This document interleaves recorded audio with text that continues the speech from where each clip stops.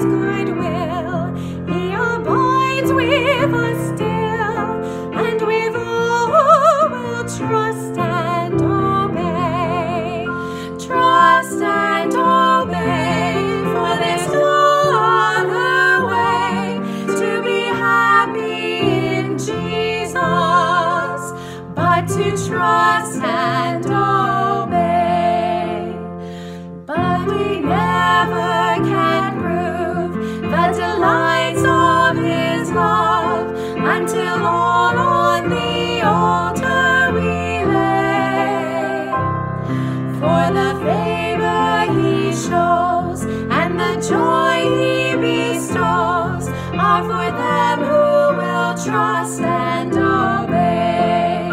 Trust and obey, for there's no other way to be happy in Jesus but to trust and obey.